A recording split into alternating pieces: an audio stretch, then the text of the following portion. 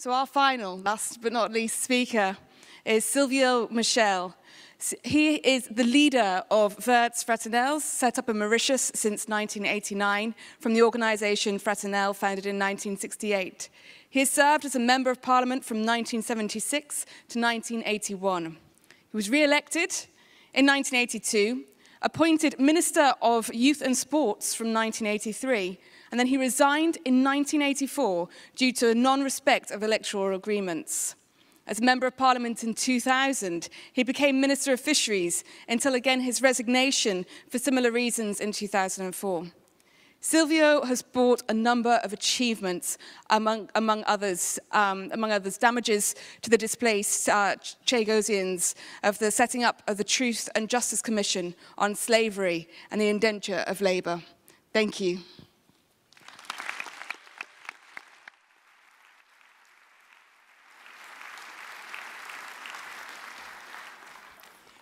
Dear Greens delegates, after having heard the two speakers before me, I feel totally unable to continue.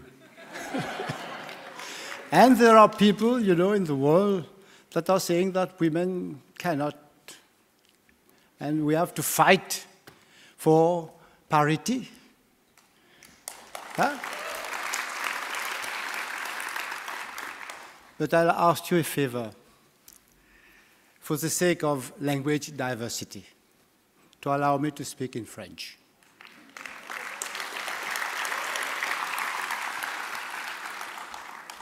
Les Verts mondiaux m'ont fait l'honneur de m'inviter à prendre la parole lors de cette cérémonie d'ouverture, alors qu'il existe tant des talentueux écologistes d'Afrique et d'ailleurs je tiens à les remercier en espérant être à la hauteur de la tâche qui m'a été confiée. Je viens de l'île Maurice, une petite île à peine visible sur une carte du monde, à côté de Madagascar, à l'est de l'Afrique. Je fais partie de cette diaspora issue des tragédies qu'ont été l'esclavage et le travail engagé tragédies sur lesquelles repose le capitalisme mondial. En tant que descendant de ceux qui ont traversé ces grandes épreuves, je peux dire que la vie finit toujours par avoir raison des, des pires épreuves que l'humanité peut traverser. Mon parti, les Verts fraternels, a été créé en 1989 il y a 28 ans de cela, grâce à une simple rencontre à Paris entre un Français écologiste, Constantin Fedorowski, que je tiens à remercier, et mon frère, euh, Élie Michel, qui est, qui est décédé depuis. Avant le mouvement non violent que j'ai fondé avec mes camarades, en 1968, il y avait un mouvement que j'ai créé et qui faisait de la lutte sociale et politique contre l'injustice et la misère. Ce n'est donc pas en intellectuel et théoricien que je parlerai ici pour aborder avec vous le, sujet de l'agenda de cette cérémonie d'ouverture. Je me baserai sur, sur ce 28 années de lutte politique au sein des Verts je me suis intéressé à trois défis qui touchent la majorité des partis verts, principalement peut-être en Afrique, et qui concernent particulièrement les partis d'Afrique. Ces trois défis peuvent paraître comme de stumbling blocks, des pierres d'achoppement, mais ils ne sont pas insurmontables. Le premier défi est la question des moyens financiers.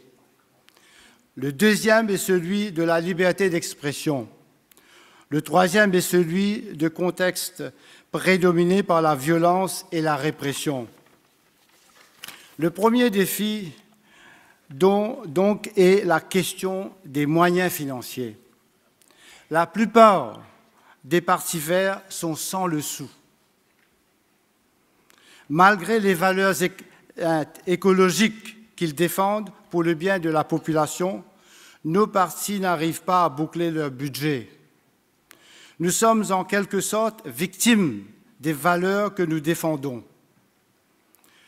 Au lieu de recourir à la manipulation de l'électorat, aux puissances de l'argent, à la terreur, aux révoltes insurrectionnelles, aux coups d'État, aux guerres qui font tant de victimes et provoquent la fuite migratoire, nos partis prônent la non-violence et la bonne gouvernance pour atteindre les objectifs, c'est-à-dire l'économie verte, la justice sociale, la, justice sociale qui garantit au sein d'une société la démocratie participative pour élire les représentants, le droit au logement, la réforme de l'éducation, la parité, l'égalité des chances, et j'en passe.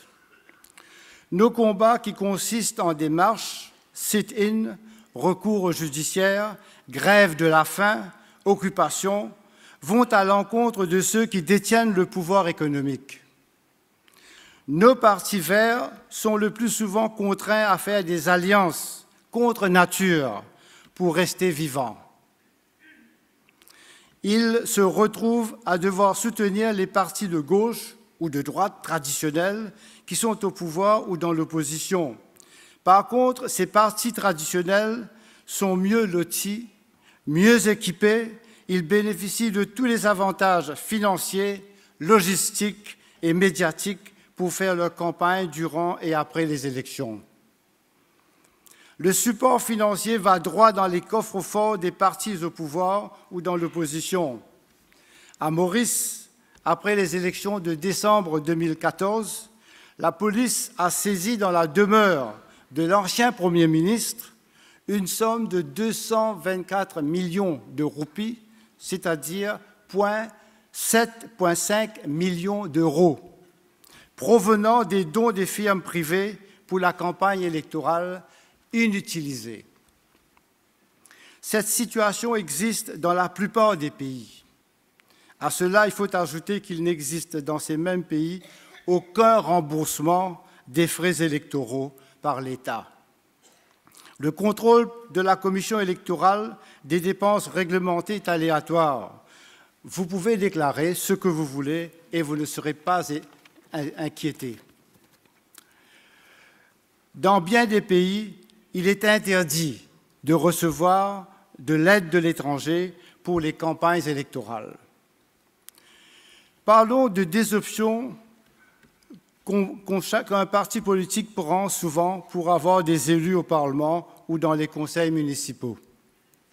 Soit le parti conclut une alliance avec les partis traditionnels en posant sous leur bannière, soit il contracte des dettes pour financer sa campagne les Verts fraternels ont fait de deux expériences.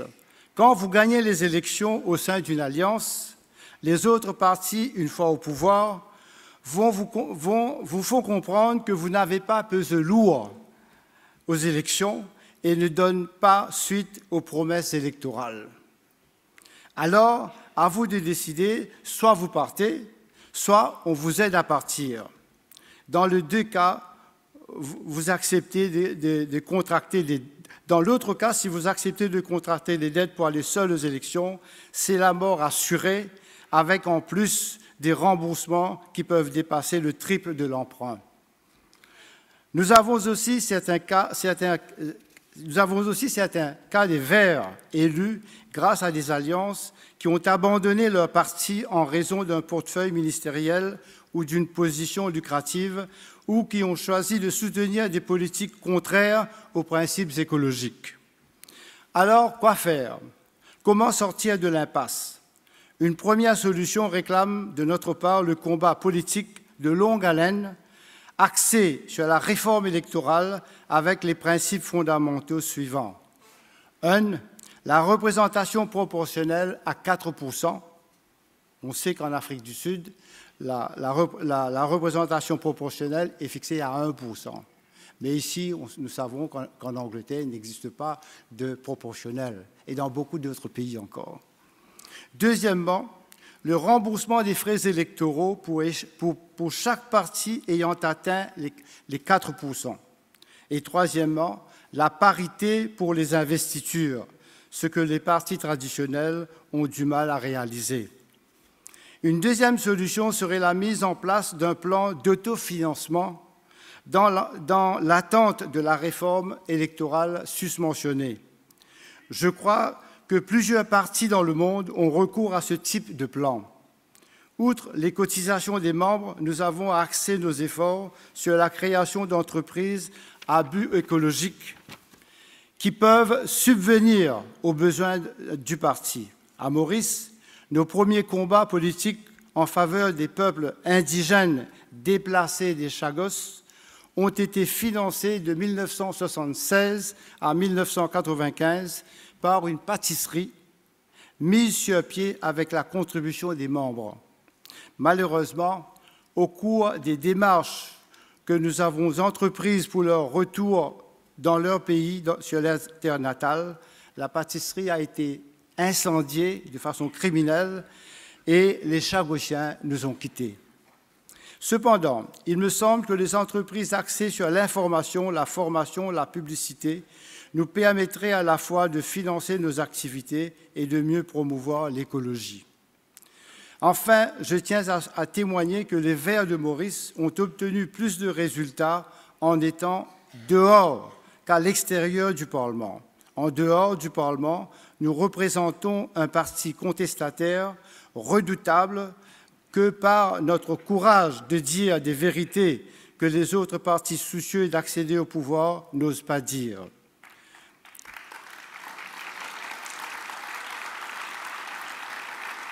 Le, deuxième défi est l'absence de liberté d'expression dans les régimes totalitaires, les dictatures ou les semblants de, de démocratie. La force des partis verts réside dans leur courage de dénoncer les pouvoirs en place, les politiques économiques générant les injustices sociales et la destruction des écosystèmes. Ce défi est énorme et présente de sérieux risques dans les pays régis par la dictature, un président à vie qui ne veut pas partir et un multipartisme de façade. Nous avons des cas de nos amis qui devaient être là aujourd'hui du Zimbabwe, qui ont connu l'épreuve de la prison pour avoir contesté le pouvoir. Même les agences internationales d'information se plaignent de ne pouvoir opérer librement dans certains, dans certains pays. Le nouveau président américain Donald Trump ne passe pas par quatre chemins pour traiter de tous les noms les médias qui lui sont hostiles. Et vous savez, dernièrement, il a interdit un certain nombre d'agences à son briefing à la Maison-Blanche.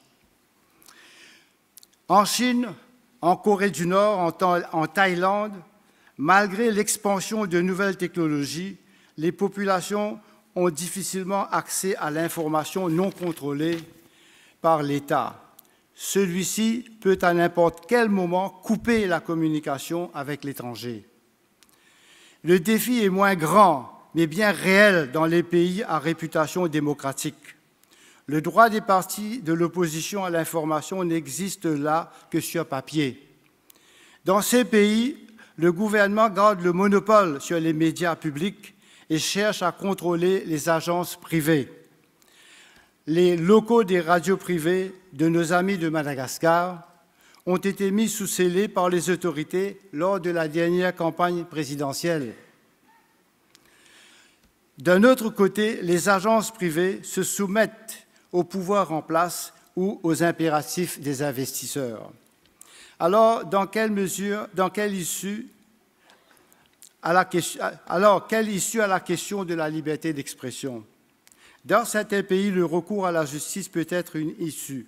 À Maurice, notre parti a obtenu en 1999 le droit à l'information en créole langue maternelle de 90% de la population, grâce à une action en cours menée contre la chaîne de télévision étatisée. Cependant, dans les cas de dictature, c'est l'intervention au niveau international des Verts mondiaux et les différentes fédérations qui représentent une issue possible. À l'échelle planétaire, les partis verts constituent une réelle force de pression que nous avons tendance à négliger. Cette force peut être exercée au moyen de communiqués de prise de position et l'intervention auprès des organismes internationaux.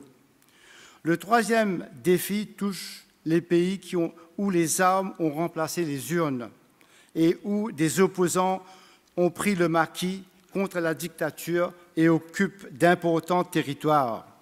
Dans ces pays-là, nous voyons chaque jour les atrocités, les massacres. Dans d'autres pays où la dictature s'est installée, n'importe quel opposant est sommairement abattu, ou alors, s'il est capturé, il est jeté en prison dans des conditions inhumaines, sans jugement pendant des mois, voire des années. Dans ce contexte-là, la force des Verts réside dans les actions menées, dans la non-violence et la transparence.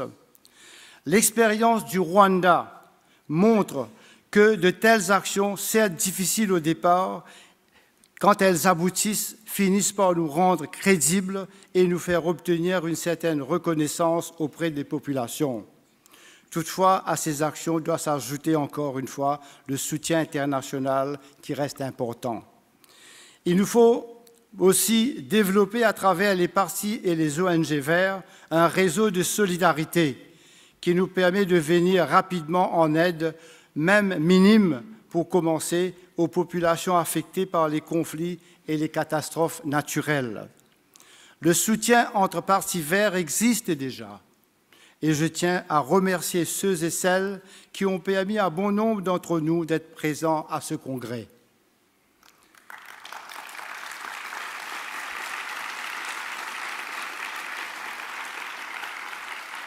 Il y a bien des cas spécifiques où tel ou tel parti vert a bénéficié du réseau des Verts d'autres pays. Je dis merci aux dirigeants de la FEVA et des Verts mondiaux qui ont soutenu par leur communiqué pendant les 26 jours de grève de la faim entreprise à Port-Louis en octobre 2013. Grâce aux communiqués diffusés sur les radios de, l'Australie, de, Nouvelle-Zélande, le, travail qui était bloqué, la grève qui était bloquée, eh bien, grâce à ces communiqués, eh il y a eu un dégel et le dialogue s'est entamé et, la grève s'est terminée en position positive. Chers amis, mon intervention est sans doute axée sur le seul aspect de la, lutte écologique, la lutte euh, pour plus de démocratie. Cependant, de cet aspect dépend dans bien des pays la création, l'existence ou le maintien et l'expansion d'un parti vert. Merci beaucoup.